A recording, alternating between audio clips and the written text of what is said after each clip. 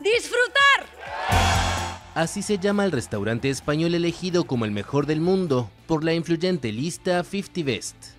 Sus fundadores, formados en el legendario El Bulli del chef catalán Ferran Adrià, acudieron a Las Vegas para recibir el premio en una gala especial. Nos sentimos muy contentos y felices y es un reconocimiento muy, muy importante porque es mundial, ¿no? Y conseguir esto lo consiguen pocos restaurantes en el mundo y muy pocas veces, ¿no? Y esto es lo, máximo que puedes llegar. La gastronomía está más viva que nunca, en España particularmente, y pues bueno, eh, alegrar a la gente joven pues que se, que se enganche a este sector. Es un sector que recibe talento, que está dispuesto y preparado para crecer juntos y que bueno, pues que España tiene mucho que decir todavía y seguro que dirá mucho más.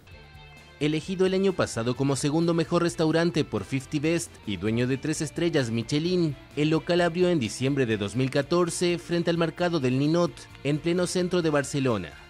Con una propuesta lúdica, platos de origen mediterráneo que juegan con los colores y combinaciones atrevidas de gustos, propone tres menúes distintos, dos de ellos a 290 euros sin bebidas. El tercero se presenta como una experiencia especial en las cocinas del restaurante. Creemos que al final es el estilo de cocina que hacemos, ¿no? que es un estilo de cocina arriesgado, ¿no? buscando esta creatividad, buscando ser diferentes, buscando también mucho la emoción y aparte también poniendo mucho foco en la sala, ¿no? en el cariño ¿no? y que al comensal intentar que, se, que en un ambiente de alta gastronomía pero se siente relajado. ¿no? En segundo lugar de la lista se encuentra otro restaurante español, Asador Echevarri. Maido, un local en Lima que propone una mezcla de cocina peruana y japonesa, fue elegido mejor restaurante sudamericano y ocupó el quinto puesto en el listado general. El séptimo lugar fue ocupado por el mexicano Quintonil y el décimo por el argentino Don Julio.